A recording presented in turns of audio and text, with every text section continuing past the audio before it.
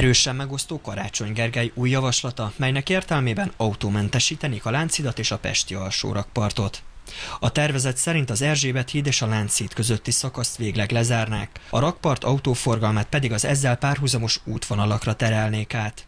Így az autósok a budai alsórakparton vagy a korlátozások alól felszabaduló Bajcsi Zsilinszki út kiskorú tengelyen haladnának az M3-as metró felszíni pótlása befejeztével. Ezt az útvonalat a Lánchíd előtti Széchenyi István térrel és a József Attila utcával kötni össze egyszer egy sávban az önkormányzat. A mostani forgatókönyv szerint a projekt egy 2015-ös látványterven alapulna, melyben a 2011-ben műemlékké nyilvánított Pesti alsó rakpart egy Dunán lebegő rekreációs szigetet is kapna több gyaloghíddal összekötve. Az autóforgalom pedig a budai oldalon haladna, villamos vonallal elválasztva középen a sávokat.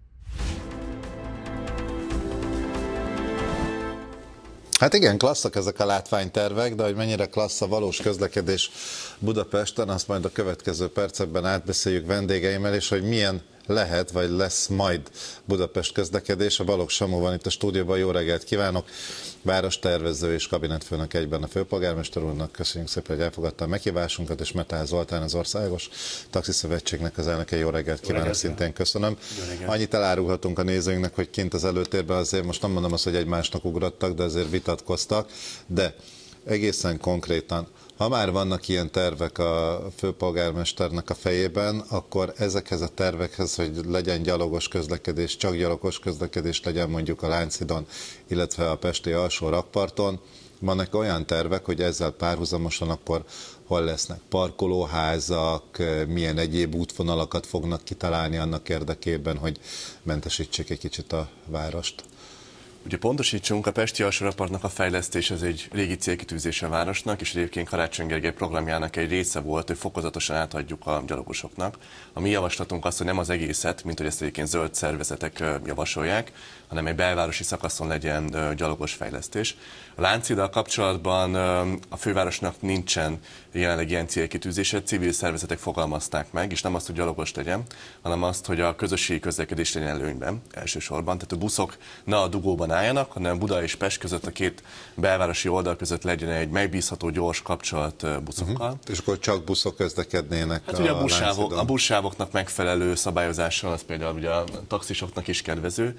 Csak azt szeretném mondani, hogy azok a célkitűzések, hogy Budapesten csökkenjen az autóforgalom, ezek nem új keletűek, ezek az előző városvezetésnek is a céljai voltak. Ugye a hatályos budapesti mobilitási tervet, azt még Talós István készítette először 2014-ben, és 2019-ben erősítették meg.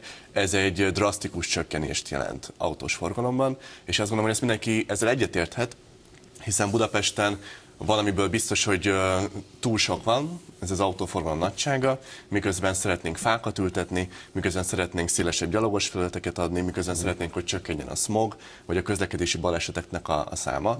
Budapesten átlagosan hetente egy ember életét veszíti közlekedési balesetben. Tehát én azt gondolom, hogy az, hogy csökkenjen az autóforgalom Budapesten, az egy mindenki által támogatott, vagy támogatható cél, és arról meg valóban beszélgetnünk kell, hogy ezt hogyan lehet elérni, mik az eszközei ennek. Egyébként csak a parkolóházakat említette, ma Budapesten több olyan parkolóház van, ami üresen kong, és ezek közül mondjuk csak egy az, ami a József Nádor téren van, ami ugye ez egy ilyen kormányzati beruházás évek óta mm. ott áll üresen, és nem nyitották meg, de például van olyan parkolóház a belvárosban, ahol inkább gokártpályát Hát, hoztak igen, már létre, de most ezen, nem használják. Ne, ezen vitatkozom, mert ugye, hogyha már belvárosi parkolóházakat említ Balog úr, akkor ugye oda el kell jutni, amikor pont az lenne a cél, hogy oda se jussanak el autók, nem? Tehát, hogy a városba ne menjenek be autók, az a város szélén kellene csinálni parkolóházakat, ilyen P plusz parkolókat. Metál úr, hogy látja a budapesti közlekedés? Most oké, okay, persze ön az Országos Taxiszövetségnek az elnöke, de kicsit tekintsünk ettől el, tehát ne csak a taxisok helyzetéről beszéljünk, hogy ők hogyan közlekednek, hanem látják önök a rendes autósokat is is. Abszolút így van. Az elmúlt fél évben, amióta kicsit ez a téma terítéken van, és a város jobban favorizálja ezt a félefajta tervét, azóta a Magyar Autóklubbal, a nagyobb közlekedési cégekkel, egyesületekkel, szövetségekkel, a Budapesti Kereskedelmi Iparkamarával azért eléggé komoly együttműködést tettünk, és folyamatosak ezek a párbeszédek egymással, hogy próbáljuk meg közösen képviselni azoknak az érdekeit, akik tulajdonképpen az autót használják, és nem azért, mert szórakozásból teszik, hanem a munkájukhoz kell, az egyéb tevékenységhez. Tehát nagyon sok olyan réteg van, akik kénytelenek gépjárművet használni, azt tudomásul kell venni, hogy az elmúlt 20 évben Magyarországon közel 38%-kal emelkedett a gépjárművek száma, ami Budapesten is lecsapódik, ahogy a, a, a kabinetfőnök úr azt elmondta. Tehát ez egy tény, tény való. Tehát már hónapra ezeket az autókat, ezek, ez, ez, ezt az óriási forgalmat kiűzni a paradicsomból, idézőjebe nem lehet, mert szerintem jóval nagyobb káoszt okoz ennek a következménye. Arról beszélni kell, és beszéltek az elődeink 30 éven keresztül, hogy milyen módon lehetne ezt megoldani. És ahogy ön is említést tett erről, persze mi is ütköztettük a véleményünket, mert más generációt képviselünk, mi az autósok között élünk, tehát naponta 8-10-12 órát Budapesten közlekedünk, ismerjük a városnak az összes lehetőségét, hogy hol lehet elkerülni, milyen alternatívák vannak.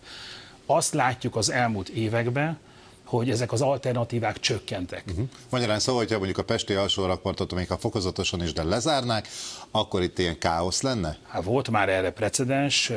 A város ugye az elmúlt években, az elmúlt nyáron, mert az elmúlt időszakban a hétvégén lezárta az alsó rakpartot, tehát ízelítőt kaptak. Igen, de más azért a hétvége hát, autós forgalom tekintetében, mint mi is azt hittük, amikor mi is azt az hittük, ember. hogy más, mert majd sokkal egyszerűbb lesz és sokkal járhatóbb lesz minden.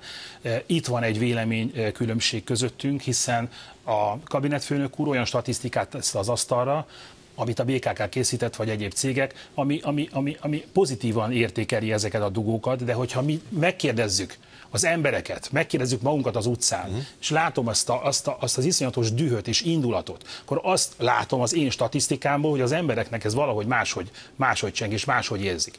Muszáj ezt pontosítanom, ugye egyrészt igen, a BKK elkezdett, ez egy jó fejlesztés, elérhető bárki számára a bkk.hu oldalon egy uh, forgalmi naptárt, ami megmutatja, hogy két évvel ezelőtthez képest nagyobb a forgalom, vagy kisebb Budapesten. De nem csak a mi saját cégünk, hanem például autós navigációs cégek is közé tesznek ilyen adatokat. Így van, mitől a Waze és ezt megmutatja. A TomTom, vagy van, igen, igen, és azt mondják, hogy kisebbek a torlódások Budapesten, mint mondjuk néhány évvel ezelőtt. És ez való igaz, hogy Budapesten az 2010 és 20 között 20%-kal nőtt az autók száma, az agglomerációban 40%-kal, tehát egy írtózatos nyomás van a városon. Ez egyébként nem csapódik le a, a forgalomban, mert pontosan tudják az emberek is, hogy egyébként nem biztos, hogy érdemes autóval közlekedni, amikor lehet közösségi közlekedése. Csak az a kérdés, hogy mi az alternatíva. Tehát, hogy mit gondolunk, hogy akkor elbontunk egy sorházat a, a Nagykörúton, hogy legyen plusz egy sáv, vagy a Rákóczi úton még szílesebbé tesszük, vagy sem, és ugye nyilvánvalóan nem ez a jövő. Tehát, hogy ez kiderült a, a 60-as, 80-as éveknek a fejlesztése alapján, mindent adjunk át az autók számára a városban, az embereket tüntessük el a felszínről, rakjuk aluljáróba, zebrákat felszámoljuk, felszámoljuk a villamosvonalakat is a felszín azért, hogy minden több autó tudjon közlekedni. Ez egy zsákutca. Igen. Tehát már ez kiderült, és ugye a városnak az a célja, már az előzőnek is, hogy gyakorlatilag visszaépítsük ezeket az emberi tereket a városban, hogy zebrákat hozzunk létre a felszínen, ugye a Blahalúza tér kapcsán ez volt egy pár hónapja egy hír, hogy az embereknek ne kelljen lemenni a föld alá, hogy azt át tudjanak jutni. Tavaly mondjuk a Blaha környékén aztán volt egy kis káosz, mondjuk, de persze értem a zebra a fontosságát, és bocsánat Balog úr, csak hogy haladjunk azért erős, ne a 60-as, 80-as évekről beszéljünk, hanem a jövőről. 23-ban reális tervek vannak arra vonatkozólag, hogy a Pesti alsó rakpartot, meg hogyha az ön szavaival élve is, de részlegesen lezárják, megszüntessék? Ugye nagyon fontos, hogy miért 23-ról beszélünk. Ugye jelenleg uh, zajlik az M3-as metrónak a középső szakaszának a felújítása. Ez két dolgot jelent. Egyrészt Magyarország legforgalmasabb vasúti árata nem közlekedik. Az M3-as metró egyedül több utast szállít, tehát teljes MÁV az egész országban. Tehát ez egy hatalmas kiesés. Ez nyilván buszokkal, villamosokkal pótolni nem lehet igazán. Sokan vannak, akik biztos autót választanak ehelyett, mert nem tudnak metróval közlekedni. Másrészt pedig pont a pótlóbuszok miatt le vannak zárva sávok, és ott autóbusz pótlósávok vannak. Ugye a Bajcsi Zsilinszki úton, hogy valaki közlekedik, pontosan tudja, hogy miről beszélek területek.